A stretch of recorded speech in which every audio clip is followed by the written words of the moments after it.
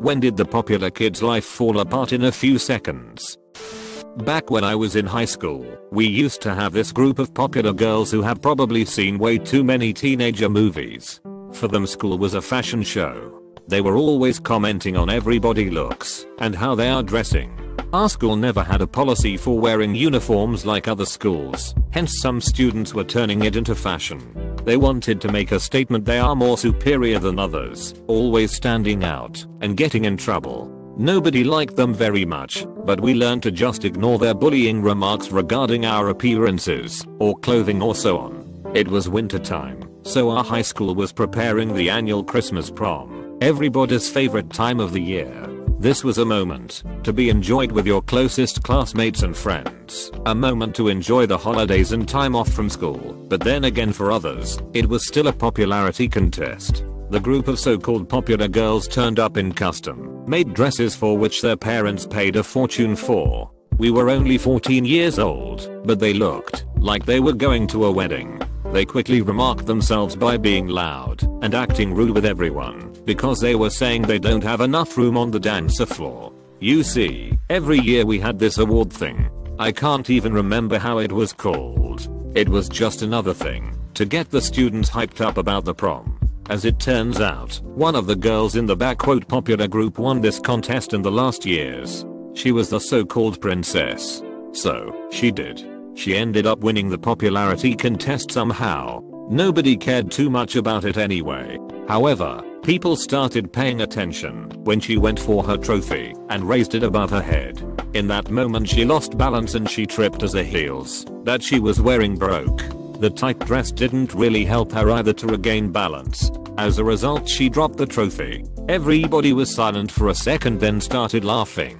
The girl on the stage started throwing tantrums blaming back quote her stupid heels. I guess she just wanted to seem like a classy lady, but it requires more time to grow up that way. Her moment of glory was ruined.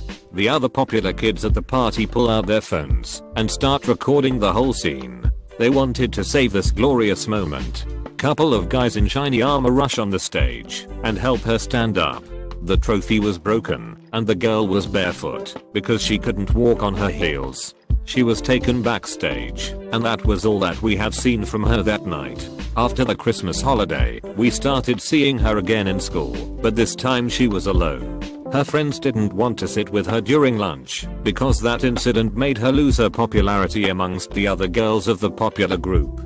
The ironic thing is that from then on, nobody invited her to prom anymore, so she didn't turn up for the events in the upcoming years. Just like Hollywood fame, high school popularity doesn't last. When I got into my senior year in school everybody started having girlfriends and to date. However, by far the most popular couple in school was Jess and Michael who were the first one who were making out in public. They used to skip classes together and to bully younger kids just for fun. They always believed they were more mature than the other students because of their relationship. But that didn't mean much. However, after 3 months they start to get in a fight. Jess was accusing Michael that he cheated when he had been in camp with the school trip, but Michael obviously denied such accusations. I was attending the same trip as Michael and I knew what happened. I knew what happened because he bragged about how he kissed Gemma and how Jess will never find out. All the boys were laughing. Jess must have heard the story somehow and she knew what Michael was capable of. Thus, the most popular couple in school broke up. Everybody was wondering why and people liked gossiping because they didn't have anything else more interesting to do. Michael noticed how the breakup affected his reputation, so he wanted to fix things because he felt he is being mocked by his friends and other classmates. The end of the school year was approaching, and Michael and Jess were still separated. Jess seemed like she moved on, but Michael was still contemplating on ways to get her days so that she would win back his reputation, I guess. In a way for him, it wasn't only about Jess. At the graduating party, Michael made a bouquet from flowers, stolen from his mother's garden. He thought to himself that it's time to show Jess's sensitive side again, so they can start over. However, he was nervous. He thought about rejection.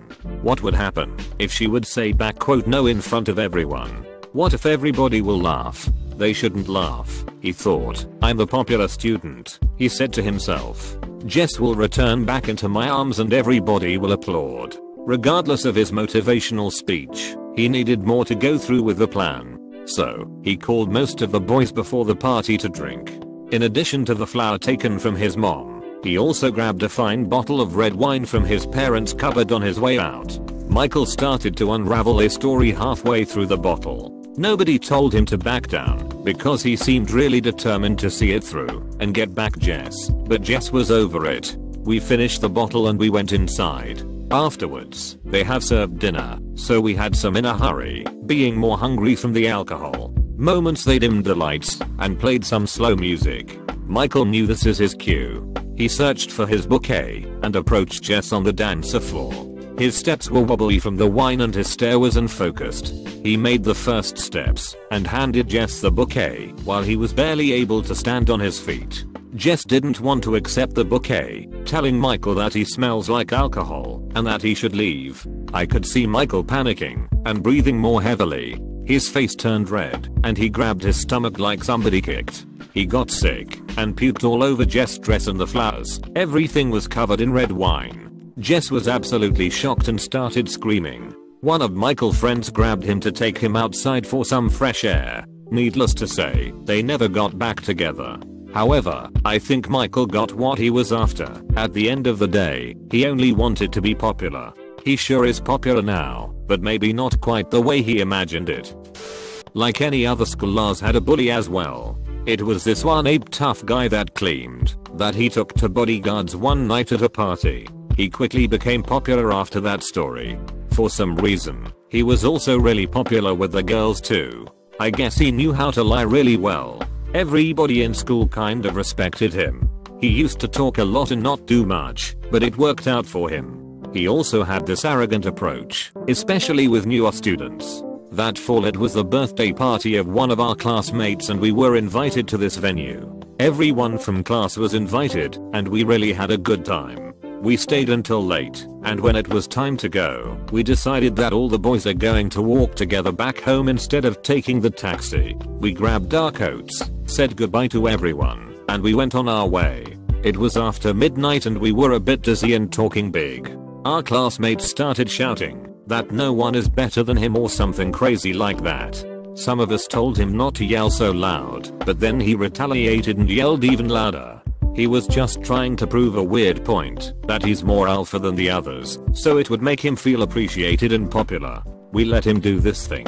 We were walking for half an hour now, dark alleyways, blocks, shadows, no one around. The city was dead. You could hear the echo of our screams, and it felt like a good night.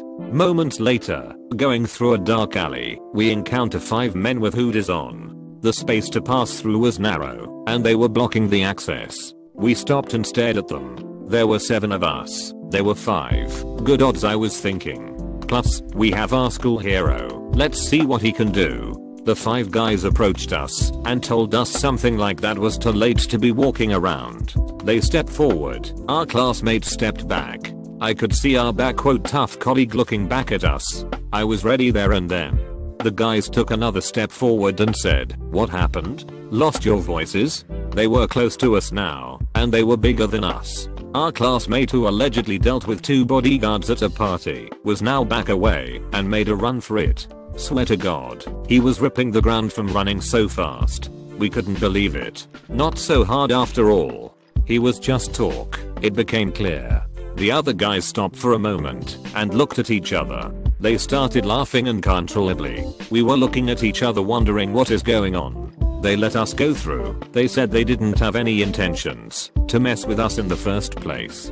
We went on and then still thought about our classmate that fled away at the first sign of something serious. This will definitely ruin his reputation. Next day he didn't turn up for school, neither the day after that.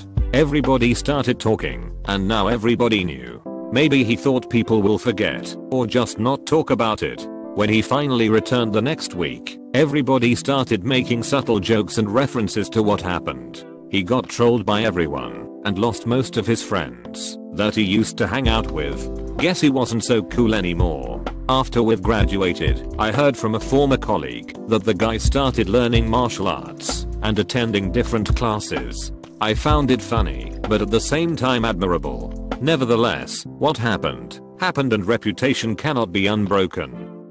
Our school wasn't a fancy one and people in our city were not so rich. So, every time someone with a bit more money than others came around, he or she will really draw the attention. So it happened, when we got a new classmate that joined us at the beginning of this school year.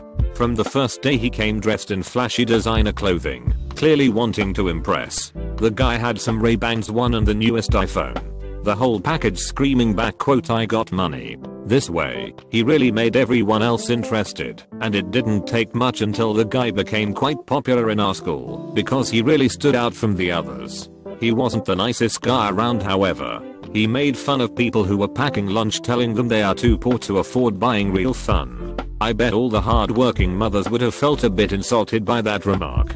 He would also make fun of our clothing because we were wearing some fancy brand. Despite all this nobody really confronted him, because even though he insulted most people in school, those people still wanted to hang out with him, because back quote he seemed so cool. All of them were blinded by the glitter. I could see through his lack of substance however. We were sitting in lunch one time, and he kept on making his lousy jokes. So, I thought I'm going to just go with it, and I have continued asking him, bro, how come you have all this money and all this cool stuff? I asked while acting surprised. I couldn't care less about his Gucci shirt.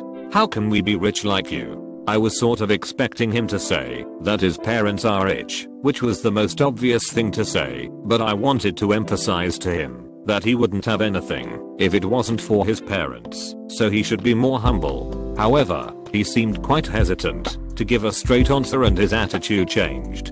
He told me that I'm too curious and that I will get hurt. His impulsive reaction surprised me. The others around felt intimidated, so nobody asked those type of questions again.